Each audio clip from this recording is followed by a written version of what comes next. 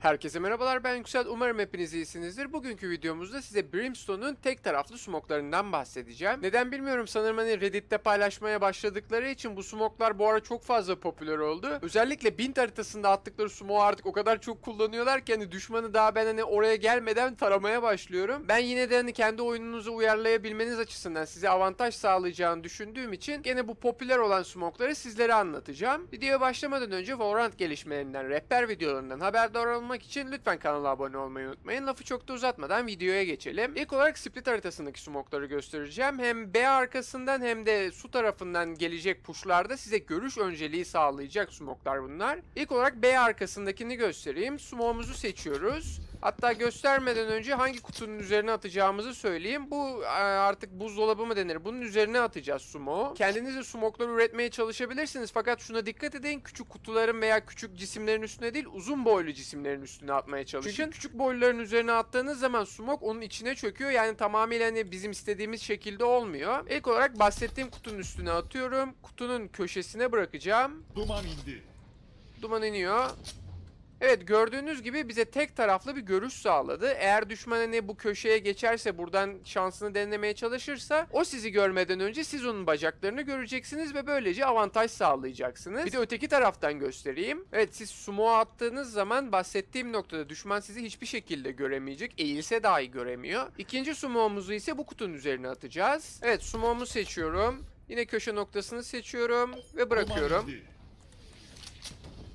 Gördüğünüz gibi yine ayak kısmında bana bir görüş önceliği sağlıyor bu smoke. Fakat düşman sizi göremeyecek. Siz onu daha önce göreceksiniz. Bir de öteki taraftan göstereyim. Gördüğünüz gibi siz hiçbir şekilde ne ip tarafını ne de heaven tarafını göremiyorsunuz. Dediğim gibi tek taraflı smoke mantığını anladıysanız bu durum size avantaj sağlayacaktır. Split haritasındaki iki smoke'umuz böyle. Şimdi de bint haritasına gidelim. Evet bint haritasında savunucular tarafındaki ilk smoke'u göstermeden önce şunu söylemek istiyorum. Hani neredeyse bintte girdiğim artık her maçta Brimstone varsa bu taktiği deniyor. Dolayısıyla bunu hani direkt oyun başladığı gibi her round denemeyin. Lafı çok da uzatmadan size smoke'u göstereyim. Bu karşımızdaki kutuya atacağız sumo'u. Sumo'mu açıyorum.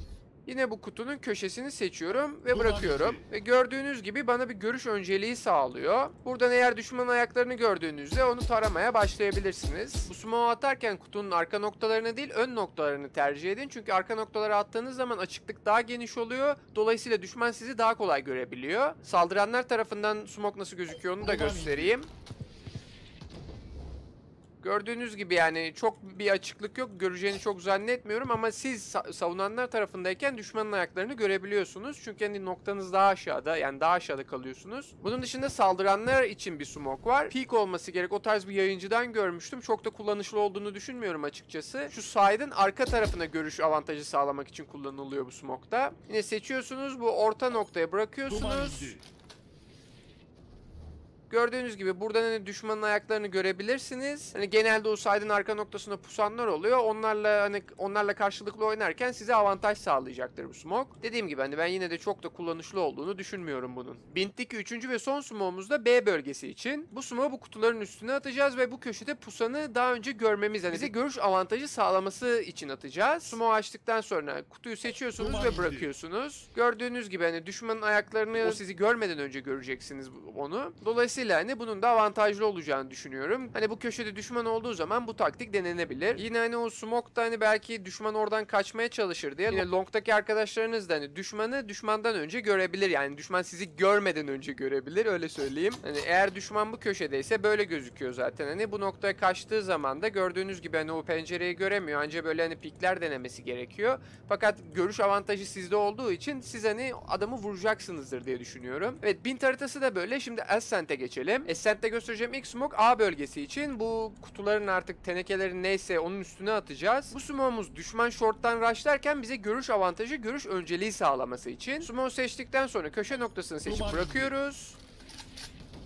Gördüğünüz gibi eğer düşman short'tan A'ya girmeye çalışırsa siz onu daha önce göreceksiniz. Bunlar tabii ki saniyelik olaylar. Dolayısıyla hani zamanınızı, görüş önceliğinizi, görüş avantajınızı iyi kullanmanız gerekiyor. B bölgesindeki smoke'umuzu da side arkasına hani görüş önceliği sağlamak için atacağız ve bu iki kutunun üstüne atacağız. Smoke'umuzu seçtikten sonra orta noktayı seçip bırakıyoruz.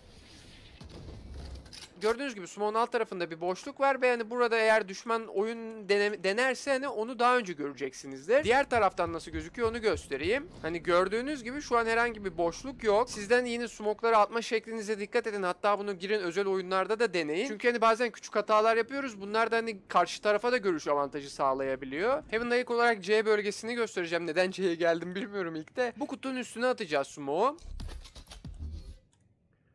Duman indi. Evet smoke'umuz düştü ve gördüğünüz gibi düşman sayda girmeden önce ona bir görüş önceliği sağladık ona karşı. Dolayısıyla hani bu noktada hızlı bir rush geliyorsa eğer saldıranlar tarafından bu smoke size bir görüş önceliği sağlayacaktır. Hani gördüğünüz gibi zaten bu noktaya kadar bile düşman sizi göremiyor ancak artık hani çok açılması gerekiyor. Saldıranlar tarafında işimize yarayacak smoke ise bu kutunun üstüne atacağız. Noktamızı seçtikten sonra bırakıyoruz smoke.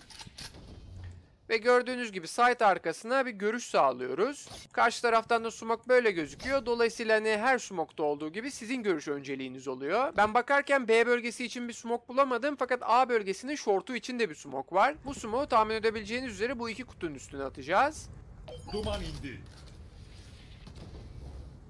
Bu şekilde düşman rushlarken onu daha önce göreceksiniz. Dolayısıyla hani bu smoke'da A'yı tutmanızı kolaylaştıracaktır diye düşünüyorum. Bu smoke'da bu noktadan da oyun sergileyebilirsiniz. Yukarıdan da oyun sergileyebilirsiniz. Düşmanın sizi siz onu görmeden önce görme şansı yok. Gördüğünüz gibi ancak artık hani şu noktaya kadar gelmesi gerekiyor ama, ama hem burada olursanız hem de yukarıda olursanız siz onu daha önce göreceksiniz. Evet unuttuğum yoktur diye düşünüyorum. Benim bulduğum tek yönlü brimstone smoke'ları bu şekilde. Eğer sizin yine internette gördüğünüz veya kendinizin bulduğu smoke'lar varsa bunları yorumlar kısmında belirtirseniz iyi olur. Yine düşüncelerinizi merak ediyorum. Bunları da yazabilirsiniz. Onun dışında bana destek olmak için videoyu beğenebilirsiniz. Kanala abone olabilirsiniz. Benim söyleyeceklerim bu kadar. İzlediğiniz için teşekkürler ve iyi günler. Kendinize iyi bakın.